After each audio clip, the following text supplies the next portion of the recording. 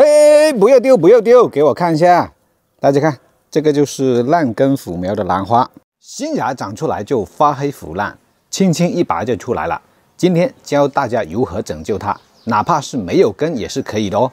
大家看我之前捡回来的这些兰花，是不是已经长新芽了？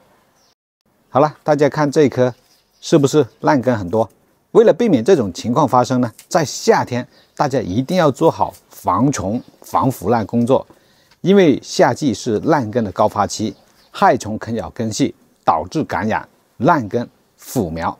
对付害虫呢，我们可以用这个小白颗粒在花盆的表面给它撒一勺，将土里的小害虫一锅炖，再撒上一勺这个小黑颗粒，避免病菌感染。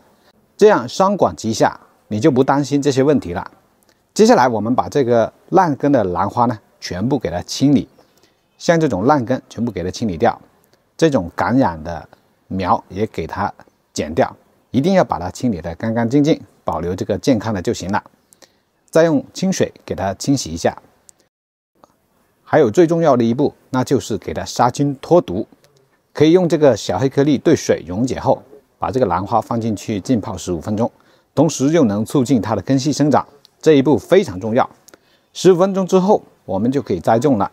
尽可能呢选这种小花盆，不要选大花盆。用上这种河沙，它透气性好，又容易诱导它长新根。然后呢，把它种好之后，给它浇一次透水，放到通风阴凉的地方养护。每天给它喷一喷水就可以了。很快就像旁边这些一样长新芽出来。学会了就点个赞支持一下吧。